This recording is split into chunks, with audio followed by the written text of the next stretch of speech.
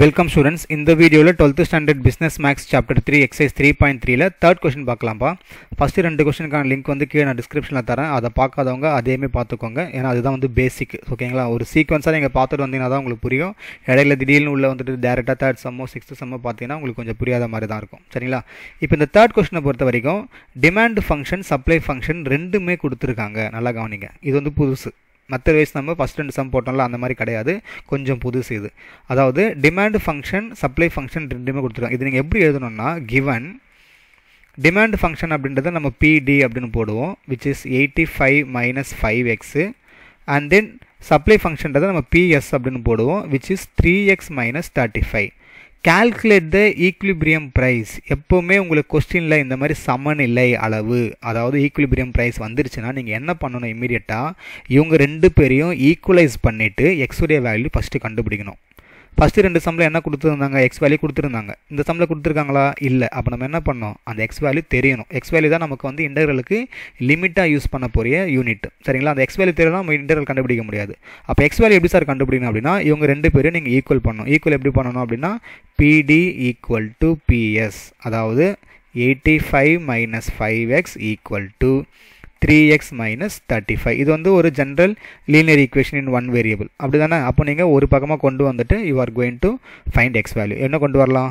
இந்த இன்டர்சேஞ்ச் பண்ணுங்கள் இந்த ஃபைவ் எக்ஸ் அந்த பக்கம் தள்ளுங்க. அப்போ என்ன ஆகும்? Three x plus five x வருமா? அது மாதிரி தேர்ட்டி ஃபைவ் இந்த பக்கம் தள்ளிங்கன்னா ப்ளஸ் தேர்ட்டி ஃபைவாக மாறிடும். சிம்பிள்ஸ் வந்து மாறிடும். சரியா? இந்த மைனஸ் தேர்ட்டி ஃபைவ் அந்த பக்கம் போதுப்பா.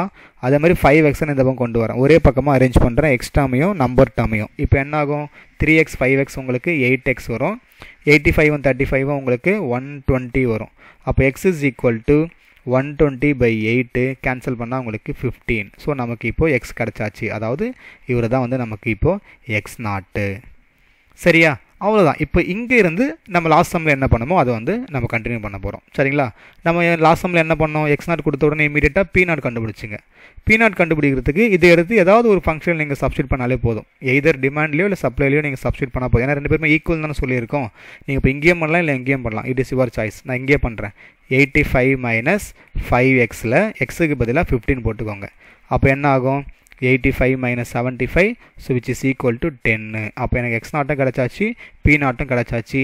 You can start finding your question என்ன கேட்குறாங்க கன்சியூமர் சர்ப்ளஸ் தான் கேட்குறாங்க ஸோ செகண்ட் சம்மில் என்ன பண்ணமோ ஃபஸ்ட் சம்மில் என்ன பண்ணமோ அதே தான் ஸோ எழுதிக்கோங்க. Consumer surplus equal to integral zero to x naught f of x dx minus x naught P naught so அப்படியே எழுதிக்கலாம். Integral zero to fifteen f of x எவ்வளோ eighty five minus five x bracket போட்டுட்டு இந்த மாதிரி டிஎக்ஸ்னு எழுதணும். சரிங்களா? Minus x not P நாட்டுக்கு ஃபிஃப்டீன் டைம்ஸ் டென் இங்கேருந்து நீங்களே கூட சார் நான் ட்ரை பண்ணுறேன் சார்னா எப்போ உங்களுக்கு நான் போட முடியும் உங்களால் போட முடியும்னு ஒரு இது வருதோ டக்குன்னு பாஸ் பண்ணிட்டு நீங்கள் ட்ரை பண்ணுங்கள் சரிங்களா? அப்படியே வெறுமனே வீடியோ பார்த்துட்டே காப்பி அடிச்சுட்டு போகணும் அவசியம் கிடையாது.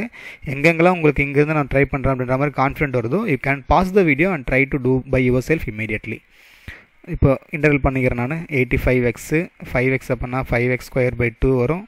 இதை சப்ஸ்டியூட் பண்ணிக்கிறேன். ஜீரோ ஃபிஃப்டீன் வரும். மைனஸ் இது ஒன் ஃபிஃப்டீன் வரும். சரிங்களா? இங்கே வந்து ஆட் நம்பரில் பை டூ வருது. ஸோ கண்டிப்பாக உங்கள் ஆன்சர் எப்படி இருக்கும்? டெசிமலாக தான் இருக்கும். சரிங்களா? ஸோ அப்பர் லிமிட் மட்டும் சப்ஸ்டியூட் பண்ணால் போதும். So eighty five into fifteen இப்போ செகண்டில் சப்ஸ்டியூட் பண்ணும்போது five into fifteen into fifteen by two அப்படின்னு போட்டுக்கிறேன். மைனஸ் ஒன் ஃபிஃப்டி அப்படின்னு கிடைக்கும். சரிங்களா? இப்போ எயிட்டி ஃபைவையும் ஃபிஃப்டீனும் நீங்கள் மல்டிப்ளை பண்ணணும். அப்போ என்ன வரும்? ஒன் டூ செவன் ஃபைவ் அப்படின்னு வரும். இது வந்து உங்களுக்கு ஆட் நம்பரில் தான் இருக்குது ஸோ ஆட் நம்பர் நீங்கள் பை டூ போடும்போது கண்டிப்பாக டெசிமலாக தான் வரும். சரிங்களா? இப்போ ஏதாவது ஒரு நம்பர் நான் கேன்சல் பண்ண வச்சுக்கோங்களேன். ஃபார் எக்ஸாம்பிள் ஏதாவது கேன்சல் பண்ணி இதை கேன்சல் பண்ணுறேன் ஃபைவ்ல டூ போனால் என்னப்பா வரும்?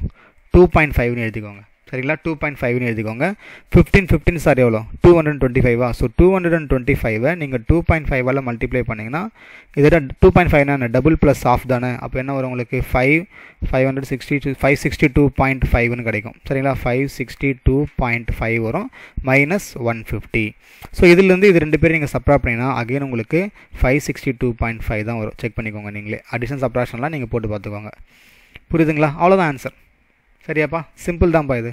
ஒரே ஒரு விஷயம் என்னென்னா நம்ம ஆட் நம்பர் வரதால நமக்கு டெசிமலில் வருது ஆன்சர் மேக்ஸிமம் சில கொஸ்டின்ஸ் வந்து உங்களுக்கு பை டூ அந்த மாதிரிலே விட்டுருவாங்க. இல்லை சார் டெசிமலில் நீங்கள் போடணும் அப்படின்னாலுமே நீங்கள் வந்து போடலாம். சரிங்களா? மேக்ஸிமம் பை டூவில் நீங்கள் நிறுத்தாதீங்க ஓகே நீங்கள் வந்து டுவெல்த் வந்துட்டீங்க. இதுக்கப்புறமா வந்து நீங்கள் டெசிமலில் நான் மிஸ்டேக் பண்ணுறோம் ஃப்ராக்ஷனில் மிஸ்டேக் பண்ணுறோம் அப்படிலாம் வந்து சொல்லிட்டு கூடாது சரியா? எந்த கொஸ்டினுக்கு தேவைப்படுதோ அந்த கொஸ்டின் வந்து நம்ம ஸ்டாப் பண்ணிடலாம்.